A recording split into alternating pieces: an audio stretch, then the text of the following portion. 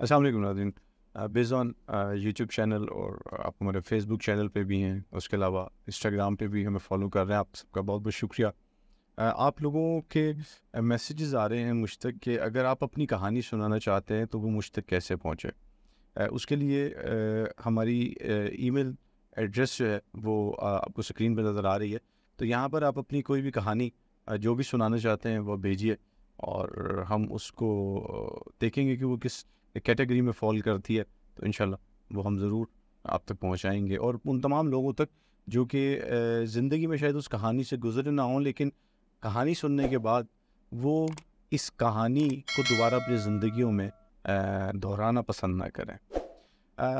Nadreen एक ऐसी कहानी जिसका ताल्लुक कब्रिस्तान के साथ है। दो आदमी कब्रिस्तान में बैठे हुए थे। एक अपने दौलतमंद बाप की कब्र पर और दूसरा अपने दरवेश बाप की कब्र पर बैठा अमीर ज़ादे ने दरवेश लड़के को ताना दिया कि मेरे बाप की कब्र का संदूक पत्थर का है।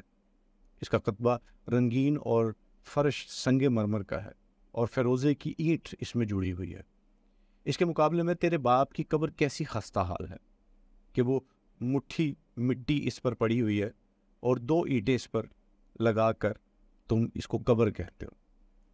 दरवेश ज़ादे ने जवाब दिया, ये दुरुस्त है, लेकिन ये भी तो सोचो कि क़्यामत के दिन जब मुर्दे कब्रों से उठाए जाएँगे इससे पहले कि तेरा बाप भारी पत्थरों के नीचे जुम्बिश करे मेरा बाप बहिश्त में पहुँच चुका होगा।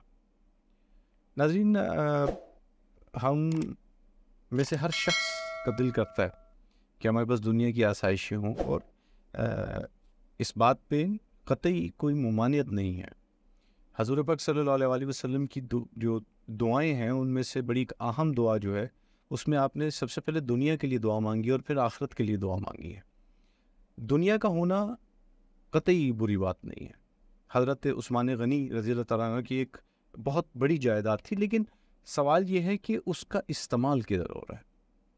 और इस बात को समझने के लिए हमें पहले ये बात समझनी पड़ेगी कि हम अपना बहुत सा वक्त दुनिया की आसाइश और ख्वाहिशात को हासिल करने में सर्फ कर रहे हैं या इस आसाइशों को लेकर इन आसाइशों के साथ असल में अपने अल्लाह और अपने बातिन की रोशनी को ज़िंदा कर।